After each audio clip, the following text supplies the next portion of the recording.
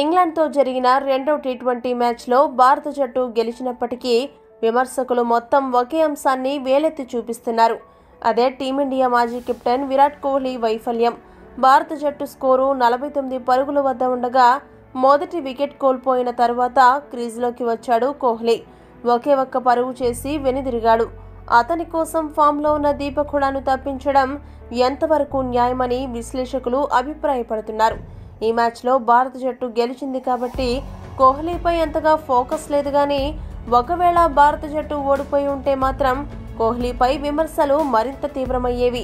భారత మాజీ క్రికెటర్ కపిల్ దేవ్ ఇదే విషయాన్ని ప్రస్తావిస్తూ ఫామ్లో లేని ఆటగాడు ఎంతటి వాడైనా సరే అతనిని వెంటనే పక్కన పెట్టాలని తెలిపాడు.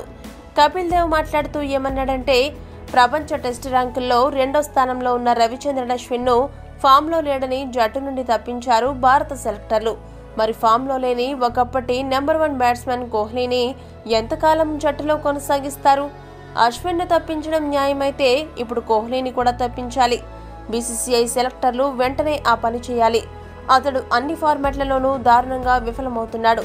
అలాంటప్పుడు అతడు ఏదో ఒక రోజు రాణిస్తాడని ఎదురు చూస్తూ అవకాశాలు ఇవ్వడం ఎంతవరకు న్యాయం? అతడి కోసం అద్భుతంగా రాణిస్తున్న యువ ఆటగాళ్ళను పక్కన పెట్టాల్సిన పరిస్థితి ఏర్పడింది. అతను గాడిలో పడేలోపు ఈ యువ ఆటగాడు లై తప్పుతారు.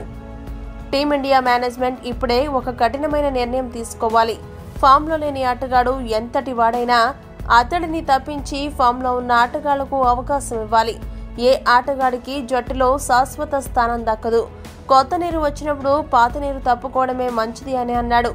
మొత్తంగా కోహ్లీ ముప్పై మూడు సంవత్సరాలకే దారుణమైన పతనాన్ని అనుభవిస్తున్నాడు.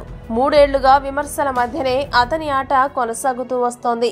ఇప్పటికే కెప్టెన్సీని వదులుకున్న కోహ్లీ ఆటగాడిగా జట్టులో చోటుపై ఆశను కూడా వదులుకోవాల్సిన పరిస్థితి ఏర్పడింది. ఈ వీడియో కనుక మీకు నచ్చినట్టయితే లైక్ షేర్ కామెంట్ చేయండి. మరిన్ని స్పోర్ట్స్ అప్డేట్స్ కోసం మా ఛానల్ను సబ్స్క్రైబ్ చేసుకోండి.